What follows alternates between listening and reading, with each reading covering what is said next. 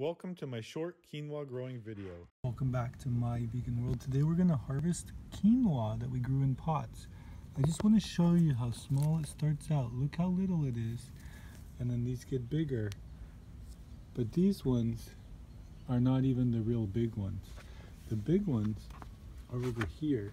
And look at these are the pots they're in. They're not in huge pots, but look how thick this stem is. It's so thick and so sturdy, and these plants are huge. They just keep going and going and going.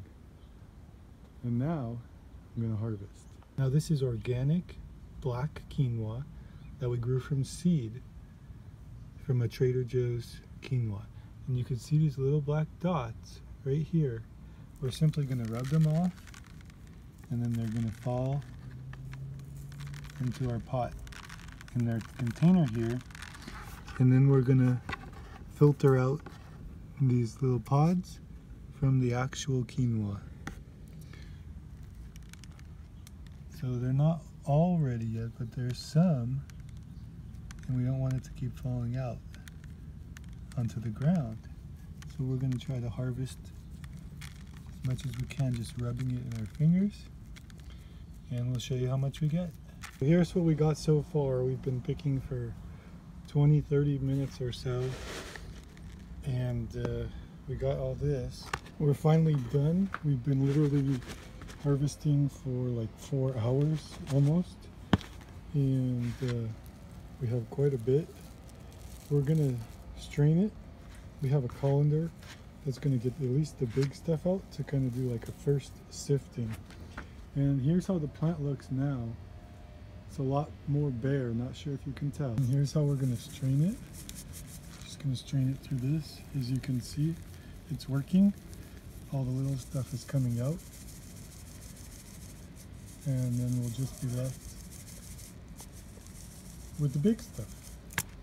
And now we're left with leaves and other debris that we can discard. So we let the quinoa mixture dry in the sun for a couple weeks and now what we're doing is we're using the wind and we're letting the quinoa fall and everything else go away. As you can see, it's working pretty well. There's a bunch on the ground, on the leaves. And uh, we're just using the wind and also when there's no wind, just kind of blowing lightly. And that seems to be working well. After we were done sifting it outside, we did bring it inside. We sifted it a few more times like that. And here's what we're left with. There is some of the outside part and the technique we're going to use to clean that is to put this in water and let the quinoa sink and these green parts float. We haven't done that yet, but as soon as we do, um, then we'll be able to eat it. Thanks for watching, and we'll see you next time.